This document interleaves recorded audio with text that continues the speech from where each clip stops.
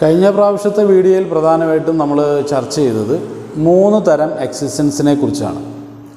അതിൽ ഒന്നാമത്തേത് impossible existence രണ്ട് പോസിബിൾ എക്സിസ്റ്റൻസ് മൂന്നാമത്തേത് നെസസറി എക്സിസ്റ്റൻസ് അപ്പോൾ ഈ മൂന്ന് എക്സിസ്റ്റൻസിനെ കുറിച്ച് നമ്മൾ ചർച്ച ചെയ്തപ്പോൾ പ്രധാനമായും ഇമ്പോസിബിൾ എക്സിസ്റ്റൻസ് എന്ന് പറഞ്ഞാൽ സംഭവ്യമല്ലാത്തത് അസംഭവ്യമായിട്ടുള്ള അസ്തിത്വം എന്നുള്ളതാണ്.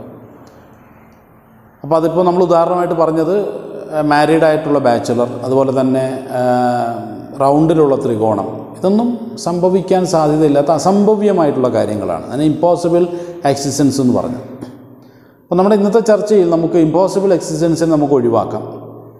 രണ്ട് തരം എക്സിസ്റ്റൻസിനെ കുറിച്ച് നമുക്ക് ചർച്ച ചെയ്യാം. ഒന്നാമത്തേത് പോസിബിൾ എക്സിസ്റ്റൻസ് മറ്റൊന്ന് നെസസറി എക്സിസ്റ്റൻസ് ഇപ്പോൾ പോസിബിൾ എക്സിസ്റ്റൻസ് എന്ന് പറഞ്ഞാൽ അത് സാധ്യതയുള്ള അസ്തിത്വം എന്നാണ് അതുകൊണ്ട് ഉദ്ദേശിക്കപ്പെടുന്നത്. അതേസമയത്ത് നെസസറി എക്സിസ്റ്റൻസ് എന്ന് പറഞ്ഞാൽ അനിവാര്യമായ അസ്തിത്വം.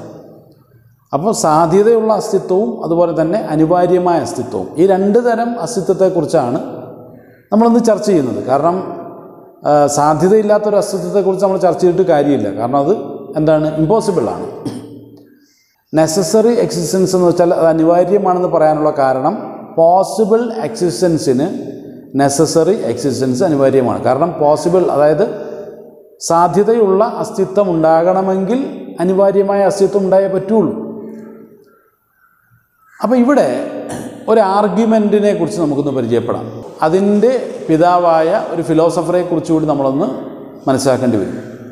അതായത് ആയിരത്തി അറുന്നൂറ്റി എഴുപത്തഞ്ചിൽ ജനിക്കുകയും ആയിരത്തി എഴുന്നൂറ്റി ഇരുപത്തി ഒൻപതിൽ മരണപ്പെടുകയും ചെയ്ത സാമുവൽ ക്ലാർക്ക് എന്നു പേരുള്ള ഒരു ഫിലോസഫറെയാണ് നിങ്ങൾക്ക് ഞാൻ പരിചയപ്പെടുന്നത്. അപ്പം അദ്ദേഹം മുന്നോട്ട് വെച്ചിട്ടുള്ള ആർഗ്യുമെന്റ് എന്ന് പറയുന്നത് കണ്ടിൻജൻസി ആർഗ്യുമെന്റാണ് അപ്പോൾ ഈ കണ്ടിൻജൻസി ആർഗ്യുമെന്റിലൂടെയാണ് നമ്മൾ നെസസറി എക്സിസ്റ്റൻസിനെ കുറിച്ചും അതുപോലെ തന്നെ പോസിബിൾ എക്സിസ്റ്റൻസിനെ കുറിച്ചും നമ്മൾ മനസ്സിലാക്കാൻ പോകുന്നു അപ്പോൾ പ്രധാനമായും അദ്ദേഹം ആദ്യമായിട്ട് മുന്നോട്ട് വയ്ക്കുന്ന ഒരു കൺസെപ്റ്റ് പോസിബിൾ എക്സിസ്റ്റൻസിനെ കുറിച്ചാണ്. അതായത് സാധ്യതയുള്ള അസ്തിത്വം. അപ്പോൾ സാധ്യതയുള്ള അസ്തിത്വത്തിന്റെ വലിയൊരു പ്രത്യേകത. അതിനെ അദ്ദേഹം പറഞ്ഞത് കണ്ടിൻജന്റ് ആയിട്ടുള്ള എക്സിസ്റ്റൻസ് എന്നാണ്. ഇപ്പോൾ ഡിപ്പെൻഡ് ചെയ്യുന്ന എക്സിസ്റ്റൻസ് അഥവാ മറ്റുള്ളതിനെ ആശ്രയിക്കുന്ന ആശ്രിത അസ്തിത്വത്തെയാണ് നമ്മൾ കണ്ടിൻജന്റ് ആയിട്ടുള്ള എക്സിസ്റ്റൻസ് എന്ന് പറയുന്നത്.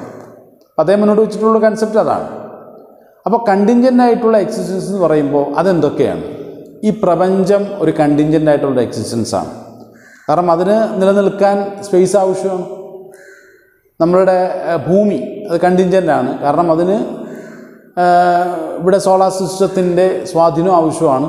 അല്ലെങ്കിൽ സൂര്യനിൽ നിന്നുള്ള ഗ്രാവിറ്റേഷൻ ഫോഴ്സ് ആവശ്യമാണ്. അങ്ങനെ കുറേയധികം കാര്യങ്ങളുണ്ട്.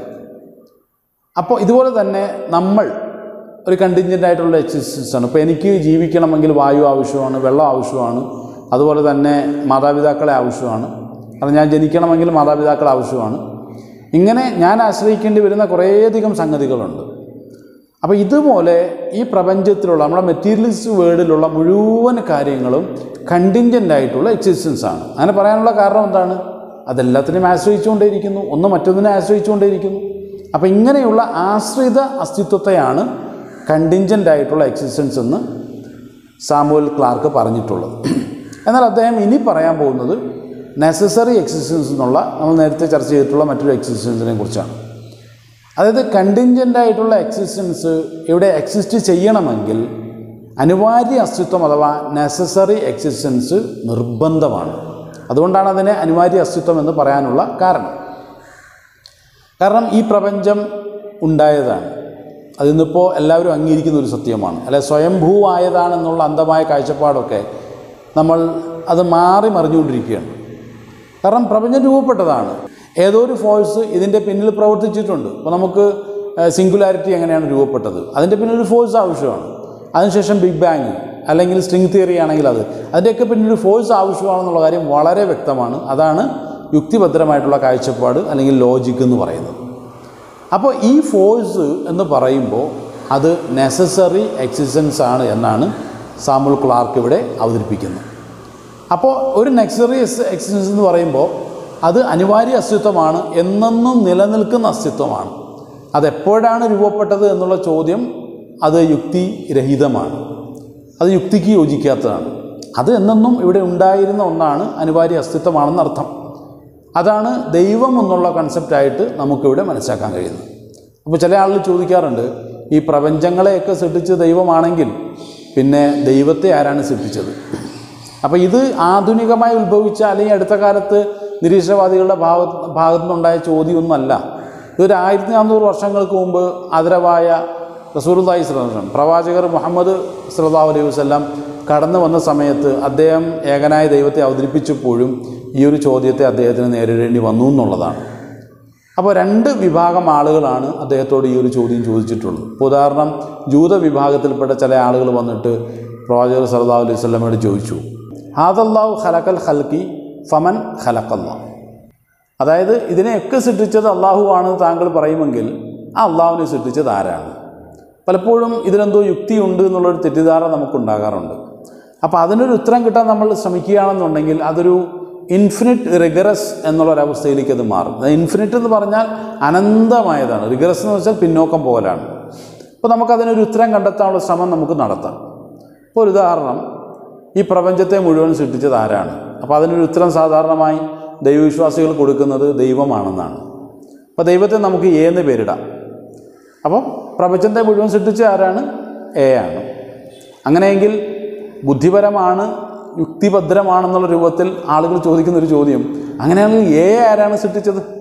അതാണ് ഈ നിരീശ്വരവാദികൾ വലിയ എന്തോ ബുദ്ധിപരമാണെന്നുള്ള രൂപത്തിൽ മുന്നോട്ട് വയ്ക്കുന്ന ഒരു ക്വസ്റ്റ്യൻ അപ്പോൾ പ്രപഞ്ചത്തെ മുഴുവൻ സൃഷ്ടിക്കാൻ അത് സ്വയംഭൂവായതല്ലെങ്കിൽ അത് ആകസ്മികമായി ഉണ്ടായതല്ലെങ്കിൽ അതിനെ സൃഷ്ടിക്കാൻ ഒരു ദൈവം ആവശ്യമാണല്ലോ. അപ്പോൾ ആ ദൈവത്തെ സൃഷ്ടിച്ച ആരാണ്? വലിയ ബുദ്ധിപരമായിട്ടാണ് ഈ ഒരു ചോദ്യം ചോദിക്കുന്നത്.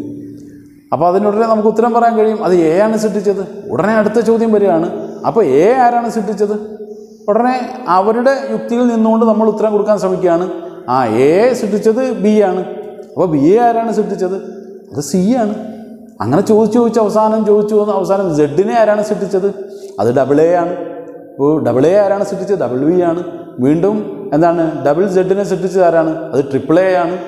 ഇങ്ങനെ പോയിക്കൊണ്ടിരിക്കുകയാണ്. ഇതിനെയാണ് ഇൻഫിനിറ്റ് റിഗറസ് എന്നതുകൊണ്ട് ഉദ്ദേശിക്കുന്നത്. ഇൻഫിനിറ്റ് എന്ന് നമുക്കറിയാം അനന്തമായതാണ്. റിഗറസ് എന്ന് പറഞ്ഞാൽ എന്താണ്? പിന്നോക്കം പോകൽ.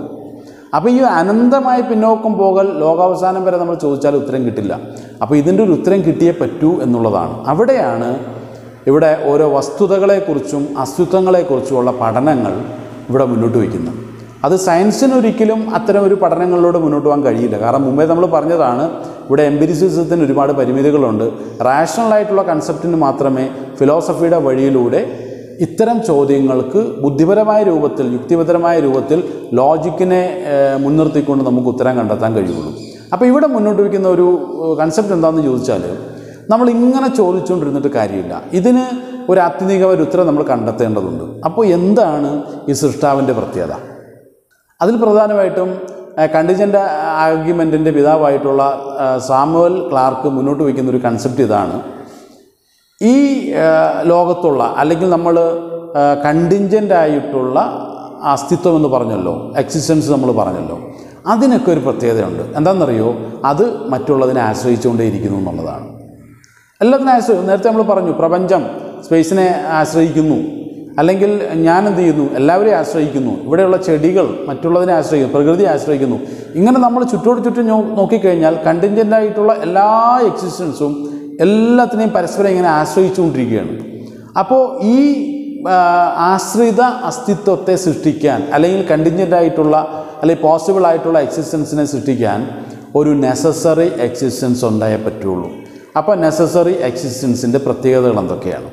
അതിനെക്കുറിച്ചുള്ള കൂടുതൽ ചർച്ചകളാണ് സാമുവൽ ക്ലാർക്ക് മുന്നോട്ട് വെച്ചിട്ടുള്ളത്. അപ്പോൾ സാമുവൽ ക്ലാർക്ക് മുന്നോട്ട് വെച്ചിട്ടുള്ള ആ ഒരു കണ്ടിൻജന്റ് ആർഗ്യുമെന്റിലൂടെ അദ്ദേഹം പറയുന്ന നെസസറി എക്സിസ്റ്റൻസിന്റെ പ്രത്യേകതകൾ എന്തൊക്കെയാണ്? അല്ലെങ്കിൽ അനിവാര്യ അസ്തിത്വത്തിന്റെ പ്രത്യേകതകൾ എന്തൊക്കെയാണ്? അതിനെക്കുറിച്ച് നമുക്ക് അടുത്ത വീഡിയോയിൽ ചർച്ച ചെയ്യാം. അപ്പോൾ ഇതുവരെ എന്നെ ശ്രവിച്ച നിങ്ങൾക്കൊക്കെ നന്ദി. അസ്സാം വലൈക്കും